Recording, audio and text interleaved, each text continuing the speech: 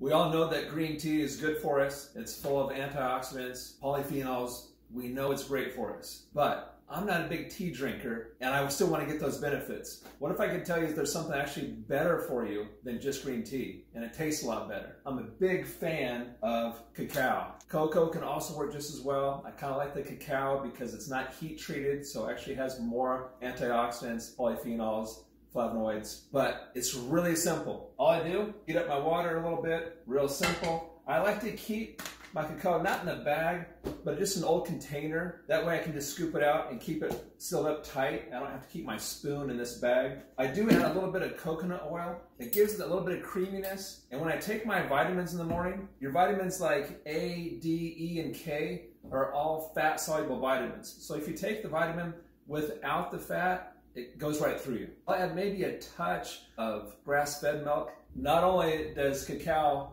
taste better to me than green tea, but knowing that it has three times more polyphenols and 12 times more flavonoids, it's a winner for me. And that's how I start every day. Hope this helps out. Take care.